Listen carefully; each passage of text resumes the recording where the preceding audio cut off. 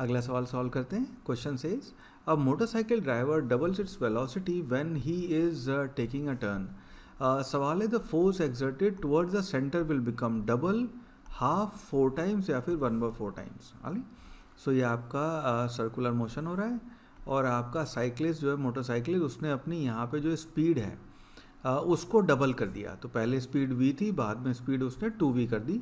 सवाल ये कि फोर्स की वैल्यू क्या हो जाएगी? ना यह बात अपने को पता है सेंट्रीपिटल फोर्स उसको लिखते हैं M V square by R तो अगर आपकी स्पीड डबल हो गई तो फोर्स आपका फोर टाइम्स हो जाएगा।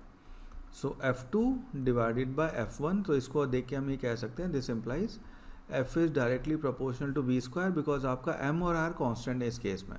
So F two by F one will be equal to V two divided by V one का whole square which implies F two will be equal to F one को उधर ले आते हैं।